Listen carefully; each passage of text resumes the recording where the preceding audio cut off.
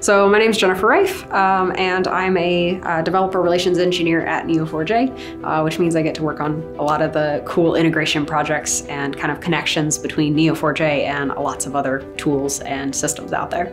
I recently was uh, worked on kind of redesigning the uh, developer guides on our site, and so kind of giving it a new look and feel, as well as trying to update uh, what is it our users need? Uh, what are things that are kind of missing in their uh, learning process for how they use the tools? What information do they need in order to build uh, some of these tools and the applications that they're dealing with?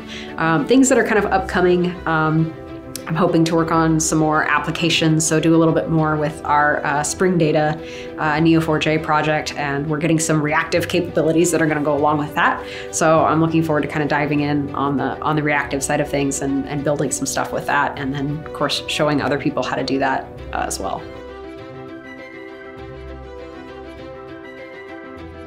Uh, I think it's kind of along the same thread, um, but kind of two different things. So one is there are absolutely tons of integrations.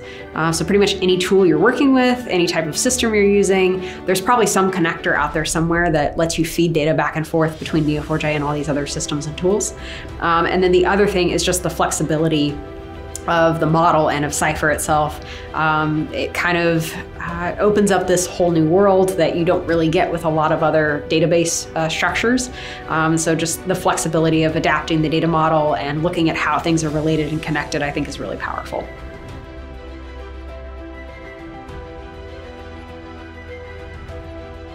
So I think one of my favorites has to be um, in the in medicine and science. So looking at uh, how either uh, medically diseases are propagating uh, through through networks, and how can we fight, you know, using things like algorithms or um, even just regular Cypher, and just looking and analyzing the connections uh, between atoms and molecules and, and, different things to try to solve some of this really complex uh, uh, problems out there. And, even mappings of the brain. And uh, I know they're doing a lot with like species and animal uh, kind of. Uh, uh bioscience and things like that, I think is really interesting. Um, and then uh, just something like um, as simple as mapping your IT network, which which totally makes sense when you look at it as a graph. But um, I think seeing that that way really kind of gets that concept of of graph and what it's actually doing and how it's connecting things together. Uh, that makes it a little bit more physical. I think that relationship. So.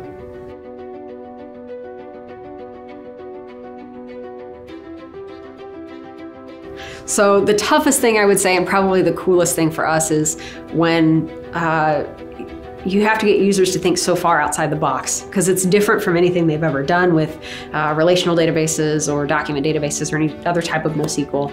Um, you're dealing with kind of that network science, that graph theory.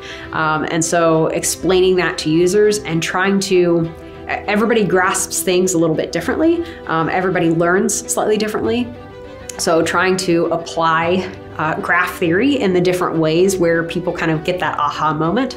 Um, I think that's really rewarding is to finally see it click for somebody and go, oh, I need to use this. I know exactly where to use this now. Um, I think that's probably one of the, the best things of getting to teach it and show developers how to use it.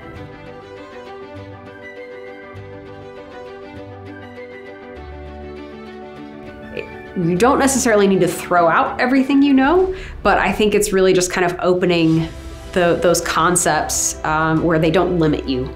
Knowing that you have those boundaries uh, that you're used to, um, and then figuring out, okay, but this is something that's totally outside of those boundaries. How can I plug in something that's new into my already existing knowledge?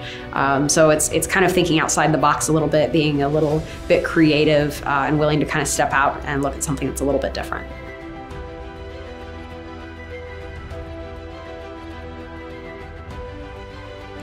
I think it's the contributions. So we have a lot of um, not even just technical projects that get contributed back, um, but the people who write blog posts on what their perspectives are for learning the technology or working with this particular tool. I think it really helps us see what users really uh, want and are looking for and are using actually out there.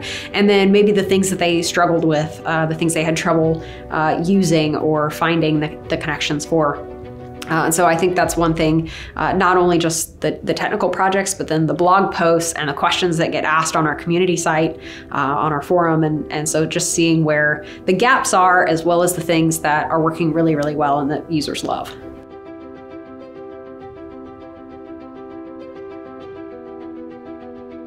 So I think graph in general is going to get a whole lot bigger um, because uh, we always like to say, you know, the world is is very connected, and I think the world is just going to get smaller as far as all the connections go, and so you're going to have people that want to relate all this data um, that seemingly doesn't relate, um, but putting that into Neo4j, you'll see kind of those hidden connections. So I think in general it's going to grow, um, but not even just past that. I think the uh, artificial intelligence and machine learning area is really going to explode. so uh, you're going to find uh, people wanting to to build more solutions for that sort of thing. You're going to want to let these processes kind of learn uh, on the fly, that graph native learning, and I think you're going to see that just continue to improve and get better and better. Um, and technology will move with that too. So.